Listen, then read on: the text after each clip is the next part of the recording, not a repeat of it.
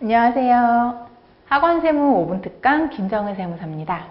요즘 그 글로벌화 되면서 어학원들이 참 많이 생겼습니다. 예전에는 영어만 하는 어학원들이 많았는데요. 요즘은 중국어도 있고 제4, 제2 외국어들이 참 많이 나왔습니다. 그래서 학원에서도 외국인 강사분들을 채용하는 경우가 많습니다. 예전에는 조금 드물었는데 요즘은 정말 동네 그 작게 있는 어학원들에서도 외국인 강사분들을 채용하실 때가 있어요. 자, 외국인 강사는 내국인 강사를 채용할 때랑 비교해서 어떤 점이 다른지 좀 알아보도록 하겠습니다. 자, 일단 외국인 강사의 자격 요건은 대학 졸업 이상의 학력이 있는 외국인으로서 관련 법에 따른 체류 자격이 있어야 합니다. 자, 대학 졸업 이상의 학력이 있어야 된다라고 이제 꼭 참고를 하셔야 되는데요. 보통 학교 교과 교습학원은 대학교 2학년, 그러니까 보통 전문대학 졸업 이상의 학력이면은 학원 강사가 가능합니다. 그다음에 평생 교과 교육학원인 경우에는 보통 고등학교 졸업 이상의 학력을 요구하고 있습니다.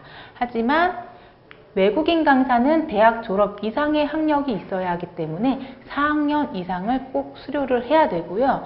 여기서 종종 문의하시는 부분이 있는데요. 그 제1교포 또는 제2교포처럼 실제로 한국인이긴 한데 국적이 미국이나 일본일 수가 있습니다. 중국일 수도 있고요. 이런 경우에는 내국인 기준에 따라서 대학교 2학년 이상의 요건이냐 그렇지 않으면 외국인 요건에 따라 대학 졸업 이상의 학력이냐 이렇게 따져볼 수가 있는데요. 외국인 강사로 봐서 대학 졸업 이상의 학력이 있어야 됩니다. 그래서 종종 한국인이긴 한데 영어가 유창한 미국에 사는 그런 분들이 대학교 2학년만 졸업하고 학원 강사를 하려고 하면 학력 요건 안 되시는 경우가 좀 있어요. 그 부분 쪽 체크를 해보셔야 됩니다. 출입국 관리법에 따른 관련 그 체류 자격도 있어야 되는데 이거는 다들 잘 아실 거예요. 어학원인 경우에는 E2 비자 있으셔야 되고요. 그 외에 F로 시작하는 비자인 경우에는 특별히 뭐 그 제한되거나 하는 것은 없습니다. E2 비자 갖고 있으신 분들은 아마 그분들도 잘 아실 텐데요. 다른 학원에 다시 출강하거나 할 때는 아마 그 출입국 관리소나 학원장에 그 확인을 받으셔야 됩니다. 자, 외국인 강사 채용 시 필요 서류는 학력증명서, 앞에 말씀드렸던 것처럼 대학 졸업 이상의 학력이 요구되기 때문에 학력증명서, 건강진단서, 관련 경, 그 범죄 경력증명서, 성범죄 이거는 우리나라 그 내국인 강사들도 실시하는 거죠.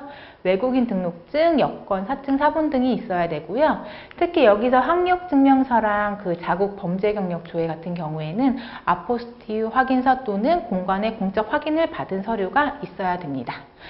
자, 오늘은 외국인 강사 채용할 때 주의해야 될 사항들에 대해서 알아봤습니다. 학원 세무 5분 특강 김정은 세무사였습니다. 감사합니다.